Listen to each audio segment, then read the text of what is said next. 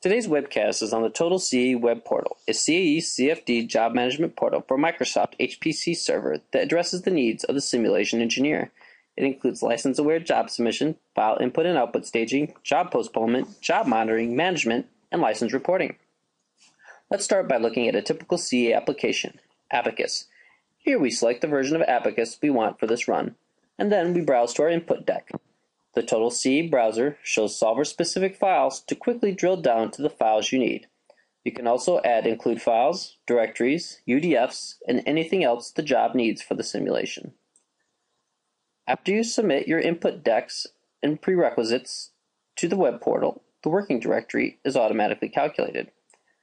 There are options to add extra solver arguments, the number of cores, job priority, and if you want to run this job on an HPC cluster, workstation cluster, or on the Azure cloud.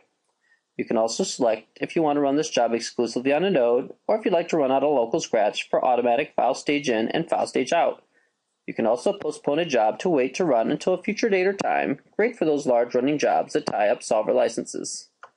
Finally, you can choose among a range of post tasks, including job specific cleanup that cleans up those unnecessary files that you don't need at the end of a job run. After you submit your job, it can be monitored through the job list. Here, through a right click, we copy the working directory to the clipboard, and through Start Run, we're able to monitor the solver specific files as the job runs.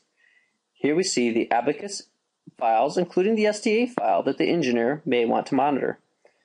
You can also view available licenses to see how licenses may impact your job and submit a wide range of different CAE and CFD solvers all through the same intuitive web interface.